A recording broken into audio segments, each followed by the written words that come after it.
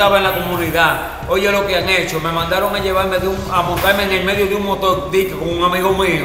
Y me dice, te tienen vendido, te van a amarrar. Y me lleva para un sitio para que dique de la comunidad. Oye, me saca del sitio donde yo vivo, acabándome de levantar, y me lleva a un lugar para que la comunidad y que vaya a buscarme allá. Ok. Y entonces la niña dice que tú lo- en cuatro ocasiones intentaste violarla. Eso es mentira. Entonces, Eso es mentira. La niña mía no ha dicho eso. Lo dicen ella. La mujer y son una tapájara las dos mujeres las que me están acusando. ok. ¿Dó- ¿Dónde ocurrió esto, hermano? En Villa Hortensia, Villa Hortensia.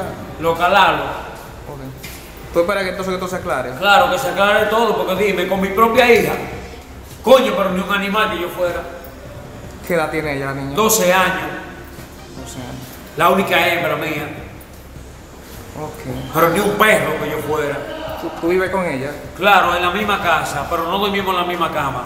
¿Y la madre? ¿Están juntos ustedes? Señor, mi esposa murió hace un año y cuatro meses. Respeta mi dolor, por favor. Murió. Ok. Sí. ¿El nombre tuyo completo es? Yo, Ángel Emanuel Márquez.